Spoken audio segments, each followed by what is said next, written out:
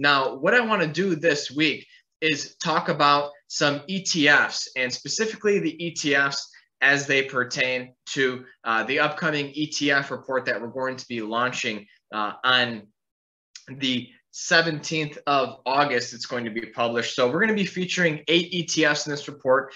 ETF stands for Exchange Traded Fund. And this basically is a basket of stocks uh, that trades uh, like a security on, on the cash exchanges. So uh, the stocks or the ETFs that we're going to be featuring in this report include SPY, which is the uh, S&P 500 ETF, and this is on my uh, screen right now. You can see how we had a pretty bullish week. Uh, prices set to close near the highs of the week and the month, and that's a pretty uh, good sign. Uh, but can this rally continue as we uh, head towards that conjunction between Mars, Uranus, and the North Node in the sign of Taurus? Uh, well, that remains to be seen. Uh, but this is the main equity ETF that we're going to be uh, analyzing in this report. It's basically a gauge on the broader market, but we also are going to analyze uh, and observe the uh, gold miners ETF. So the ticker symbol on this one is GDX, and precious metals had a very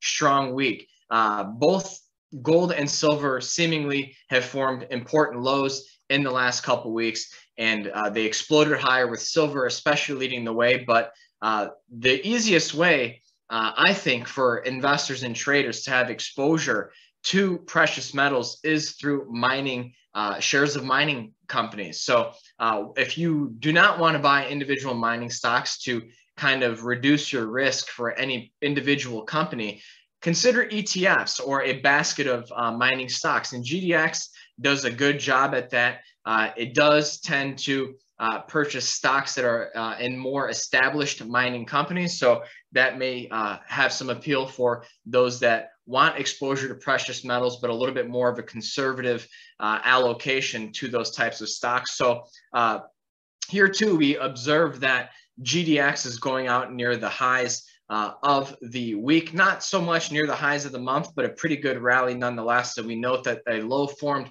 on uh, the 25th uh, of July, which was the same day that Venus formed a square aspect to, to Jupiter. And this is uh, especially interesting because normally metals don't like Jupiter. Uh, because Jupiter tends, you know, to, to bring good things, and metals tend to do better uh, when, uh, you know, world events or monetary events are a bit more, more tumultuous. But uh, this week, as I mentioned earlier, we did get a negative GDP reading, uh, the second in a row, uh, which typically uh, spells recession.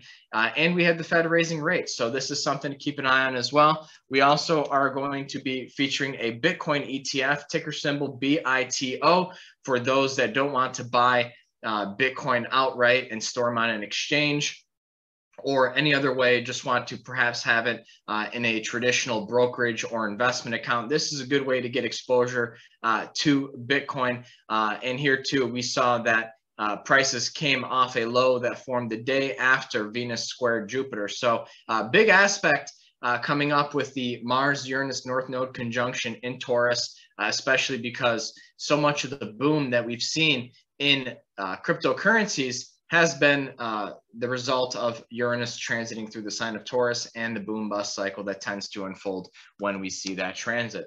Next comes TLT. This is a long-term uh, bond ETF, specifically of bonds with a maturity of 20 years or more. So uh, this is one of the most heavily traded bond ETFs. It gives uh, traders and investors good exposure to long-term bonds um, and this is kind of a bellwether um, when it comes to economic growth or recession. When you see markets turn down, uh, equity markets, that is, TLT tends to rally the most. Uh, and long-term bonds tend to catch stronger bids when the economy is turning down.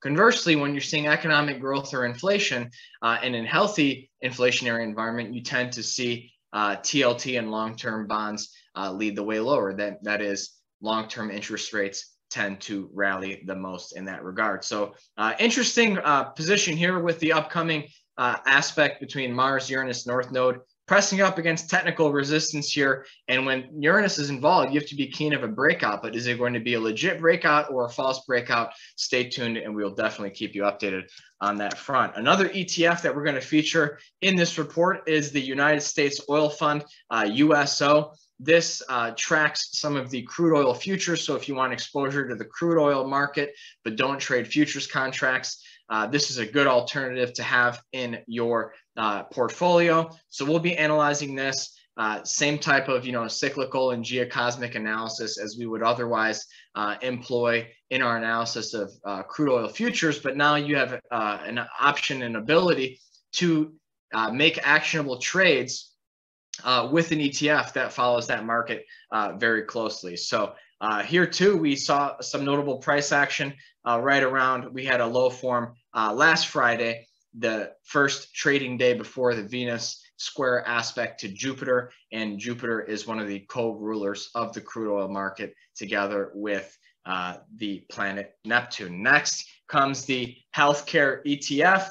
Uh, healthcare is another key uh, market, one of the biggest components in the S&P. Uh, we had a nice rally uh, into Thursday. We're reversing back a little bit lower on uh, Friday here, but overall seeing some strong trends unfold in healthcare and uh, no shortage of demand in this sector given the demographic shift uh, in much of the Western world, but also a unique sector because so much innovation uh, is happening in the healthcare space as well. And I think with Jupiter going back into the sign of Pisces now that it's retrograde, we could see some uh, interesting uh, price moves in the next several weeks or months in the healthcare sector. And also with Neptune being in the sign of Pisces until 2025, 2026, definitely a sector to keep an eye on.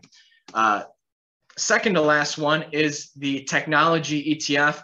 Tech is so important because it's been a secular leader uh, in the bull market since 2008, 2009, meaning that uh, it's been the sector where traders and investors could obtain returns above and beyond uh, the S&P index. So when tech uh, whatever tech does, the rest of the market tends to follow, and we've seen that unfold this year. As we saw tech peak in December, the rest of the market peaked the following month. The Nasdaq actually peaked the month before. But tech is important with Saturn in the sign of Aquarius.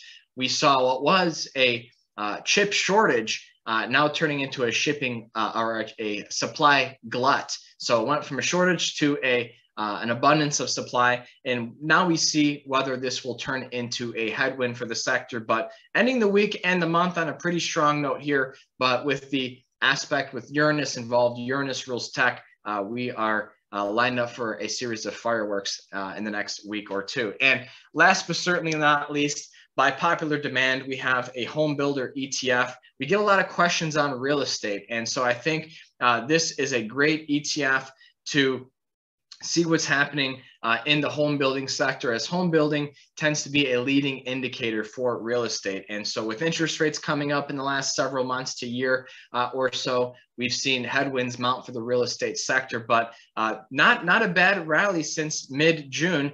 Uh, and this rally uh, happened uh, not long after the sun squared Neptune and formed a trine to Saturn. And then we also had uh, it was actually about a week before uh, a conjunction between Venus and Uranus. So, uh, you know, if you like this type of geocosmic analysis in conjunction with uh, technical analysis and cyclical analysis, would definitely recommend you check out and stay tuned uh, for our ETF report, which is set to drop uh, on the 17th of August.